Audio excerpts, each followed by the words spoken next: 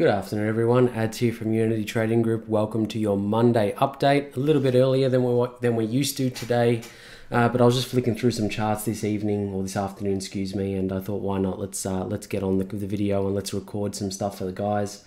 So before we start today, of course, tap that like button, hit the subscribe button if you can, and of course, tick the little bell to stay updated on all of our future content. We just released an update for Gravy Train, a small one, but an important one in my opinion. The ability to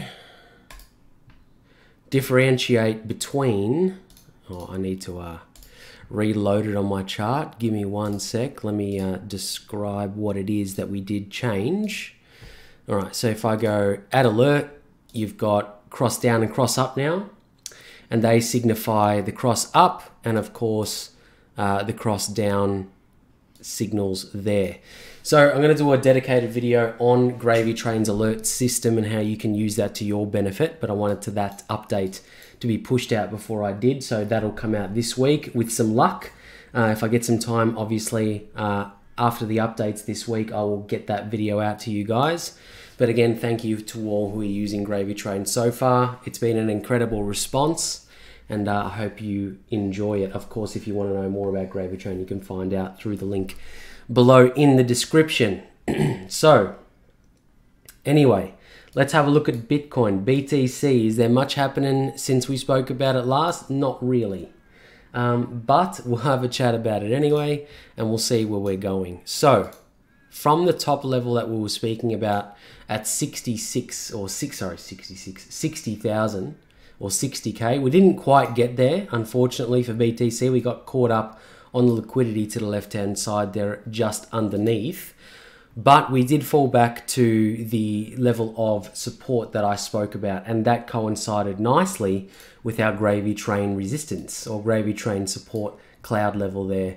Uh, so that coincided with the previous tops, of course, and of course that gravy train cloud. That's where I really got that level from.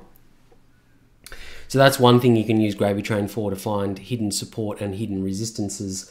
And of course, our cloud structure there formed as part of a level of resistance. And if you draw that line across, you'll find it coincides nicely with liquidity to the left here.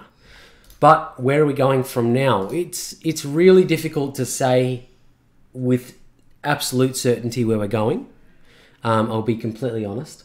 But if we're looking at the tops and of course the lower highs that we're observing on the chart, uh, it would seemingly look like we are forming a lower high to continue towards the downside.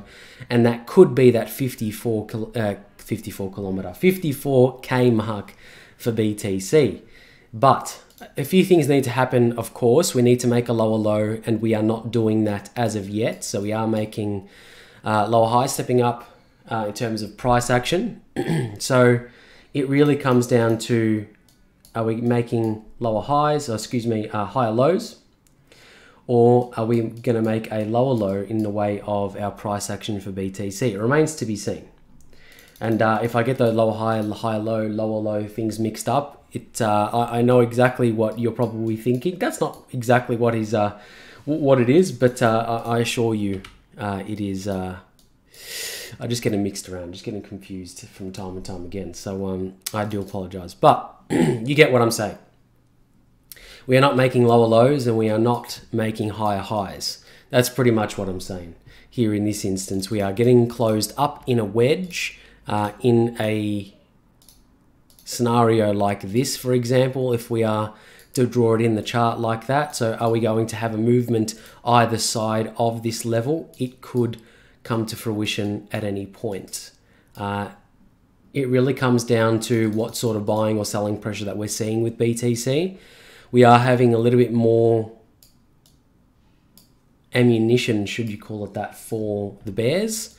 So we are, you know, held underneath that 50 RSI and we are looking towards that lower portion of the price action at 54k for BTC.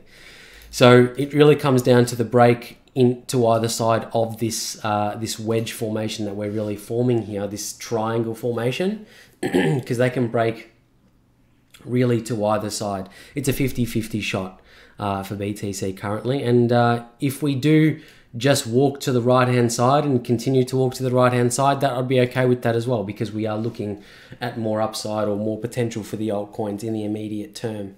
So uh, just keep an eye on that. But if we're looking at the gravy train indicator for us, we are in the no trade zone in the way of a, uh, a grey zone on the four hour. If we go on to the one hour, it, in terms of the price action we're observing, it's the same. We are observing a no trade zone or a indecisive level in which we are observing uh, BTC.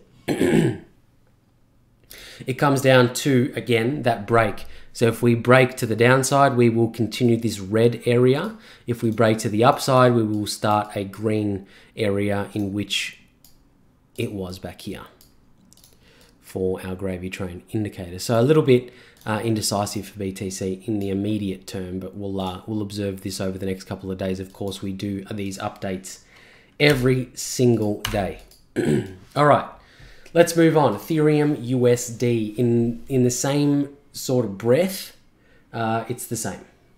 It's the same sort of price action. We are moving to the right hand side.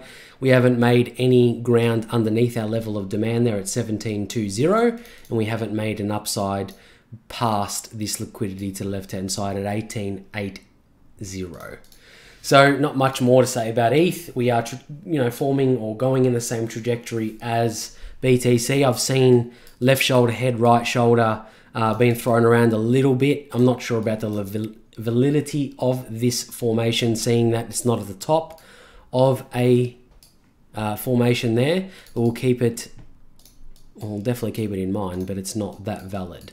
So uh, we'll, we'll keep that in mind. But in any case, I'd be looking for the same sort of trajectory for ETH. It's looking like it might break to the downside. You can only bend a stick so far, and the only then what I'm referring to is the wicks to the downside.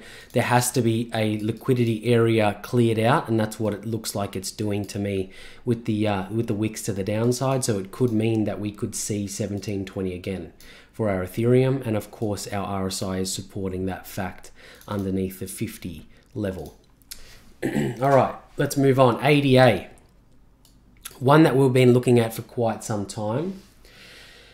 And look, with ADA, it's a little bit tricky in the way of our price action that we're seeing currently because you can't really draw a level of demand here because we have smashed through the previous one, which was around here-ish. And uh, I'm not observing one until we see our next one down here at about a dollar. And of course, our liquidity here at around a dollar to a dollar three uh, for ADA. So you could, technically speaking, uh, have that sort of zone there at $1.05 and $1 exactly for ADA. So I'd be looking more so to the downside for ADA, and that's getting supported by that 50 RSI as well. But before I continue and uh, just push past the wayside for ADA, and uh, I would be foolish to not consider the Fibonacci retracement in which we are sitting quite nicely on the 61.8. So I'm not discounting this level at all. If we draw our horizontal line uh, through this level, and if I make it white and a little bit easier to see, uh, 118 is where we're sitting for ADA, and that resides around the 61.8. And you can see the liquidity that's been respected to the left-hand side at that level. So I'd be looking towards that area for, for ADA to be held currently. So if we are to see ADA bounce from here, I'd be looking towards that 38.2. If not, the 78.6 is the next area for ADA. All right, moving on, we'll have a look at XRP. XRP moving nicely in the trajectory that I like to see it moving in. So what we've seen in the last couple of days with XRP is some news coming out of the SEC where, you know, they're their legal team is is doing a, a, good or putting up a good fight against the SEC in terms of is is XRP a security or not. So the only information that we've got so far is they are putting up a good fight, and the the price is reflecting that towards moving to the upside. So we have observed XRP move through this level of supply, and of course through our double zero fibs towards our negative 27 and towards our negative 68 point or 61.8. Where do we see it be? Well, where do we see XRP going now? So we, what we really need to do is we need to clear some of this noise off the chart. So let's get rid of our fibs. We've got the retest on our previous level of demand. Let's get rid of that as well and draw in the current levels that I'm looking at. So the current levels being this area here. And of course, we've got a small area of liquidity there and I'll get rid of that one for now. So if we are to see XRP continue, I'd like to see it pull back and it's probably going to pull back to where we broke out from, which is there. Uh, and if I draw in our current level of Fibonacci to really see where we are, that will correspond nicely with the 61.8. See how that is uh, is pretty much picture perfect for XRP. So if we are to see it come back, we need to see it break through the 38 and possibly retest the 50 and the 61. The 38 is uh, is the most notable level in terms of a higher high and uh, lower high scenario in terms of something like this towards the upside. So we could see this hold. If we are to see this hold, I'd be looking towards the upside of 58 cents for XRP. However, if we are to move towards the downside, like we will, we have been observing with BTC and ETH, if that comes to fruition, of course, we'd be looking towards that 61.8. And that really comes down to what we see in terms of fundamental news come out for XRP. And uh, I'd be looking towards that fundamental channel in the Discord, which you can find the link down below for, uh, to really keep up to date with XRP. All right, the last one I have a look at today is the DXY. So well, first things first, the DXY is a regulated market, and this is not financial advice, just ideas and opinions of the DXY of Team UTG.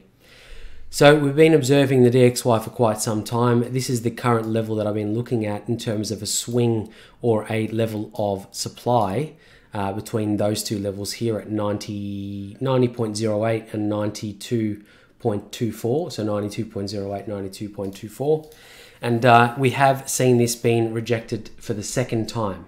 So as we have opened today, we've opened high, created a gap. We are current, we have currently filled that gap on the lower time frames, and in turn, we have been rejected a second time on this level of supply.